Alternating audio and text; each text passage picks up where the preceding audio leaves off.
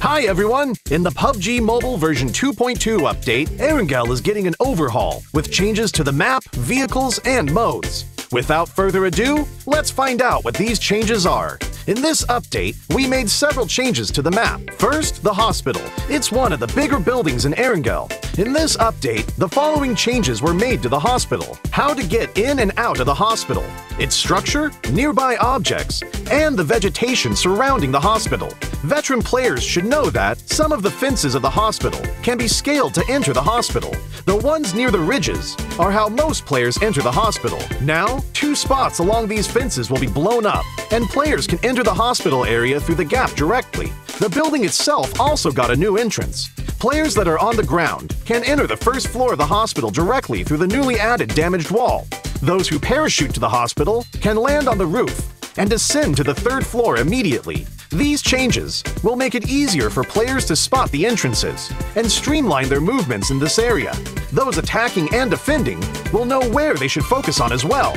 On the inside, we simplified the structure of the hospital. Originally, the three floors had different layouts, and there were many rooms on each floor. So, searching the rooms was very tedious, because players had to go into each room. After the update, the three floors are now more or less the same.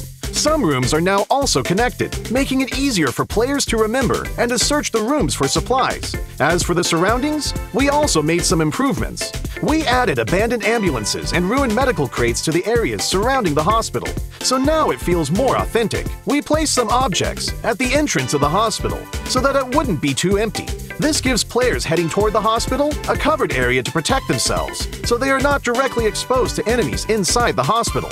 Outside the fences on the side of the hospital, we added a new climbable spot. Players can hide here, or they can scale the fence to enter the hospital. As for the fences by the ridge, since there are now two gaps to enter the hospital, we've reduced the number of objects in this area to make it more visible. So now, both attackers and defenders can see each other clearly. Further out from the hospital, we've added some new vegetation so that players hanging around the hospital will have more places to hide. Mylta Power also saw some changes that are mostly in the generator area. Players who are familiar with this area should already know that this section was quite a choke point and was not easy to get in and out of. Those who entered either came out the same way or had to take a detour to the other two buildings. In this update, we added a new entrance on the first floor to make this area more reachable and easier for players to get in and out. The layout was also modified. We simplified the complex floor plan so the players can see more and plan their routes better. When battles break out in the generator building, players will have more offensive options, making these battles more exciting. In this update, three new ports will be added to Erangel. The first port is by Ferry Pier. We added a port here, as well as increased the amount of resources in the area. The Ferry Pier will soon be more abundant in supplies. The two desolate beaches to the southwest of Farm and to the south of Sosnovka military base will also get new ports. They will both contain a good amount of resources. Players will also find boats at these ports, so they can quickly travel to another location. So, keep these places in mind because they'll make for a great landing spot. During the previous themed modes, players really enjoyed the special crates. In the new version, we'll add special supply kits to classic mode. Players will be able to find special supply kits in buildings. There are three types medical, tokens, and military supplies. The resources in these supply kits are very good, so keep an eye out for them when searching.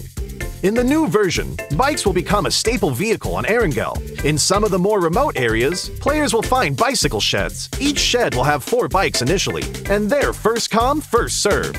These bikes can be collapsed and put into the backpack, so they're really convenient for traveling to other locations. In addition to the sheds, players will be able to find bikes in other areas. With a bike, players no longer have to worry about being too far from the play zone.